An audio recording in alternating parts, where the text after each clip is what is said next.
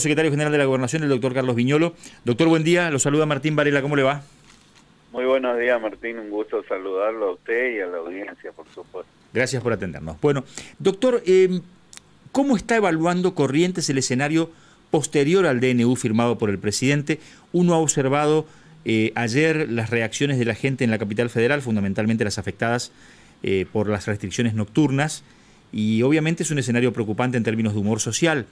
Eh, el gobernador ya adelantó un poco continuar, a partir de sus dichos, con el escenario de fases que lleva adelante la provincia de Corrientes, evaluando localmente cada situación, pero eh, también dijo, vamos a analizar con mayor detenimiento todos los aspectos legales del DNU firmado por el presidente.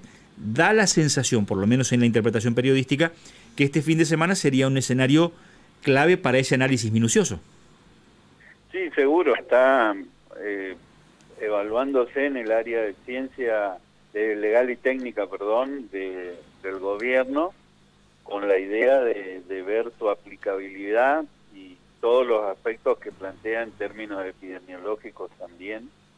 Eh, obviamente que nosotros como criterio defendemos el, el, tema de cambio de fase porque es lo que nos ha dado resultado acá en Corrientes, tanto en la capital en el momento que tuvimos los picos más importantes como en, cada localidad del interior.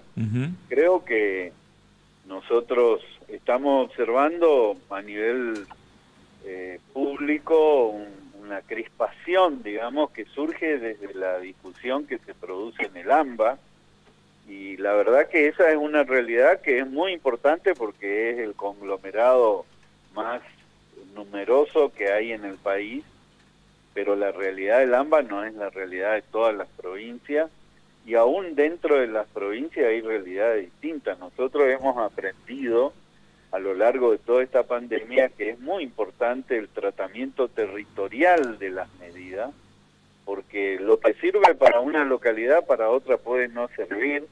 Por eso es que defendemos tanto el cambio de fase. Usted fíjese que es el gobernador quien realiza en, conjunción siempre o la mayoría de las veces con los intendentes el cambio de fase y después la autoridad local con su comité de crisis local con asesoramiento del comité de crisis central el que termina determinando qué, qué actividades se abren o qué actividades se cierran.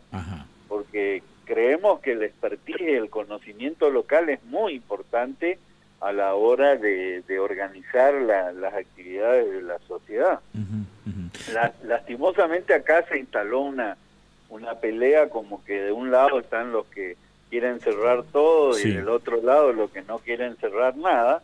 Y nos parece a nosotros que esos extremos conducen a errores, que tenemos que ser racionales y ser capaces de tomar las cosas como deben ser. Nosotros claramente eh, en adhesión a ese documento famoso y junto por el cambio, sostenemos que hay que tratar de mantener la mayor normalidad posible, pero esta palabra determina también un límite que está dado por, por la, cantidad de contagios que uno tiene en, una determinada localidad.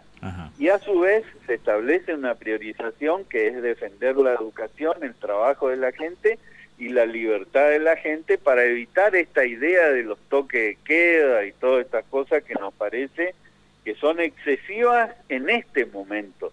Tal vez lo tengamos que hacer en otro momento cuando la situación se complejice mucho más, pero me parece que hay que ir ajustando las medidas y los que están de ese lado no, no necesariamente están vedados de tomar medidas de reducción de actividades. la verdad que tenemos que salirnos de esa grieta también de la pandemia que tanto mal le hace al país, ¿no? Ajá, seguro.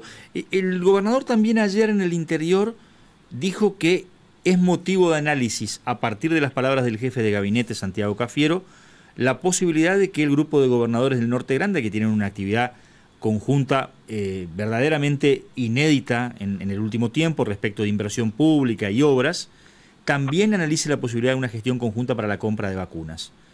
Eh, y esto obviamente despierta muchas expectativas.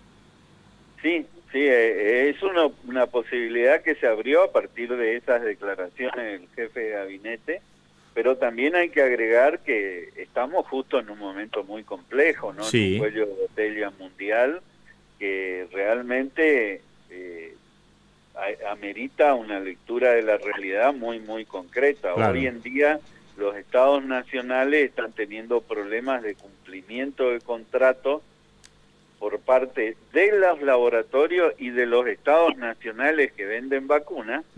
Eh, y la verdad que en, en entregas de manera inmediata prácticamente eh, no, no, hay oferta. Claro, uno va a negociar hoy y puede recibir la posibilidad de una respuesta para cuatro o cinco meses para adelante.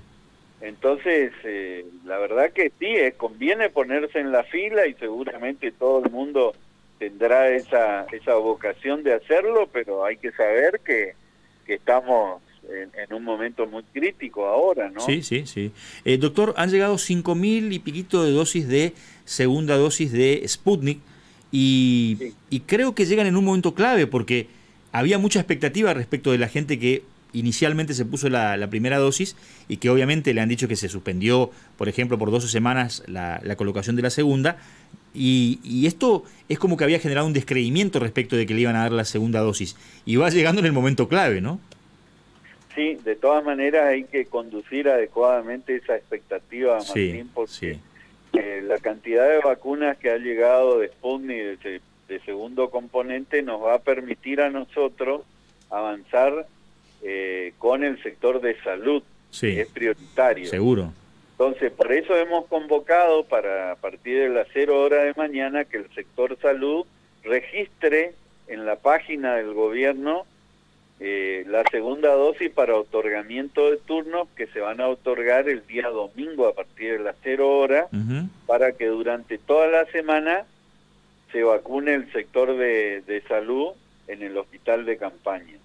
Pero a su vez aprovechamos este, esta movida, por decirlo de alguna manera, de, de convocatoria a segunda dosis para convocar también a todas las personas que recibieron primera dosis mayores de 65 años policías y docentes y personas con comorbilidades para que registren eh, su, su segunda dosis en la página porque tenemos que reordenar turnos a futuro. No para ahora, no para ahora porque no tenemos la vacuna, pero como ya hay mucha gente que está en condiciones de recibir esa segunda dosis, tenemos que reordenar turnos para cuando las vacunas estén. De tal modo de poder seguir vacunando con el ordenamiento que venimos teniendo sin dificultades, sin aglomerar gente y de una manera prolija. Entonces le pedimos a la gente que recibió la primera dosis que acceda a la página, va a tener un link que se va a llamar registro de segunda dosis para turnos futuros y que adjunte un PDF, una foto del carnet de vacunación para que se pueda determinar eh, quiénes irán primero en el turno, segundo en el turno, cuando las vacunas estén. Tiene que ser, perdón, lo interrumpo acá porque eh, la verdad que le, planteo una pregunta a partir de lo que usted acaba de decir, que tiene que ser PDF, yo lo veo medio complicado el tema PDF con mucha gente a la hora de subir esa información. Tiene que adjuntar una foto del carnet. Ajá.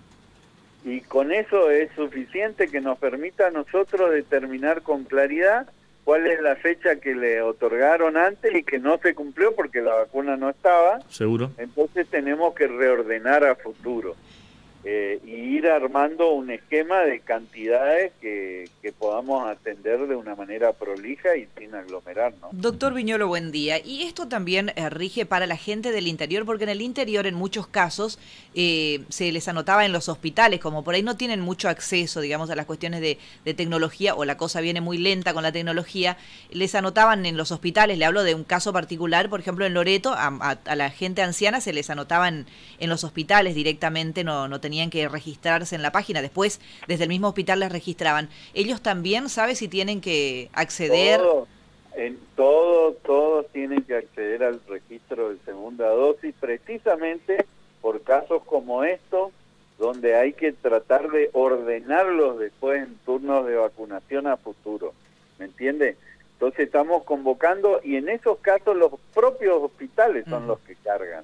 Entonces la gente no tiene que eh, desesperarse porque tiene que interactuar con el hospital local, que es el, lugar efector que hace la carga de, en la página. Perfecto, perfecto. Doctor, eh, hoy eh, escuché más temprano a Daniel Arroyo en una FM de la capital eh, decir que la asistencia económica podría volver, pero no el IFE, y automáticamente que nosotros estamos con una consigna respecto del IFE y la asistencia económica del gobierno nacional, la gente eh, descree de todo esto y obviamente esto es un problema porque estamos frente a un escenario de restricciones anunciadas por parte del decreto presidencial.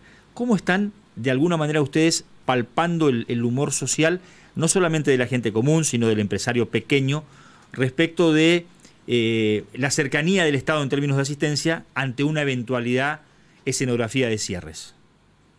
Bueno, naturalmente, después del enorme impacto que ha tenido en la economía y en lo social eh, la pandemia el año pasado, la gente está con serias dificultades, claramente. Por eso es que nosotros queremos defender la máxima normalidad posible para que no tengamos que golpear nuevamente la economía de, de, sobre todo de las pymes, de los pequeños emprendedores, de las personas que viven en el día a día. Hay un sector informal en el norte de nuestro país que es enorme, que necesita tener posibilidad de salir a trabajar para obtener su sustento diario.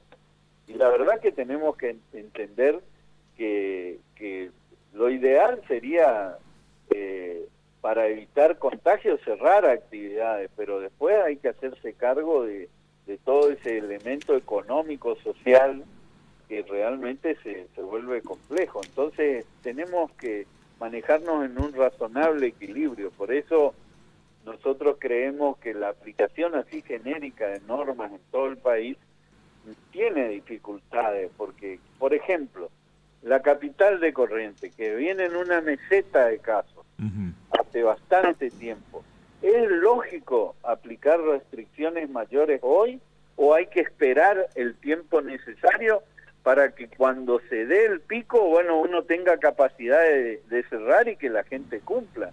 Porque lo importante en esto, en la toma de decisiones, no es solamente tomar la decisión, sino que haya acompañamiento social de cumplimiento. Claramente. Doctor Viñolo, gracias por estos minutos. ¿eh? No, por favor, un gusto.